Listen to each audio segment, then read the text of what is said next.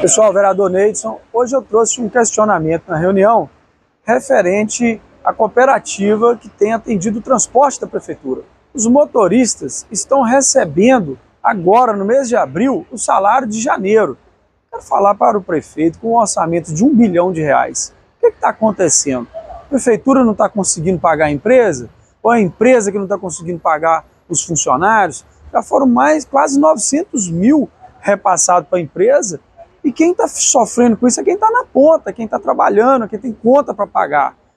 O senhor aderiu a uma ata alegando ter vantajosidade para o município, 43 milhões de reais o contrato com essa cooperativa, e sequer ela consegue pagar em dia os trabalhadores. Então vamos lá, prefeitura.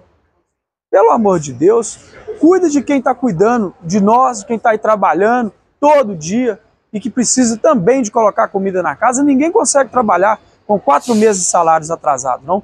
Ontem foi pago o salário de janeiro. Então isso é um absurdo, nós cobramos. E o vereador Carlos Henrique, que é um líder que representa aqui o prefeito, ficou de trazer as informações e nós esperamos. Do contrário, vamos trazer novamente secretário, presidente da cooperativa, para explicar esse absurdo, essa falta de respeito com o trabalhador da nossa cidade.